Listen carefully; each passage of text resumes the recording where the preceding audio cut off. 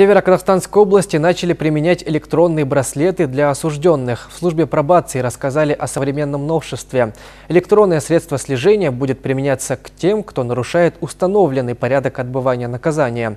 Теперь отслеживать местоположение можно при помощи планшета. Браслеты подают радиосигнал по GPRS.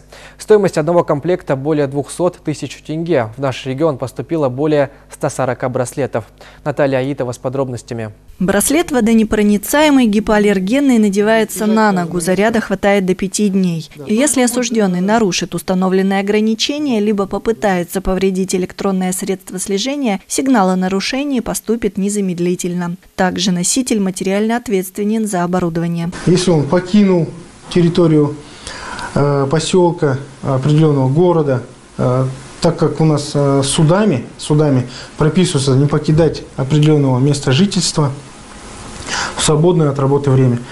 Он, получается, э, все вот эти движения, все его передвижения будут отражаться у нас на, на компьютере. Тут вплоть до зарядного устройства показывают, сколько у него осталось э, зарядки. Житель Петропавловска судим неоднократно. Мужчина не пожелал себя называть и показывать. Последняя его судимость за кражу на три года. За полтора года он неоднократно нарушал такие ограничения, как запрет на посещение определенных мест. Теперь с браслетом условия наказания придется соблюдать. Лучше, конечно, с браслетом здесь находиться, чем за решеткой. Но ограниченно на работу можно ходить после семи уже нельзя выходить из дома. Вы нарушали закон, получается, до этого до браслета?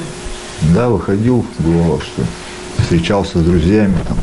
Технология позволяет предотвратить возможные риски совершения повторного преступления. Если подучетный нарушает режим, об этом сразу поступает сигнал. Инспектор службы пробации тут же связывается с осужденным. Если фиксируется несколько таких нарушений, электронный надзор может быть заменен лишением свободы.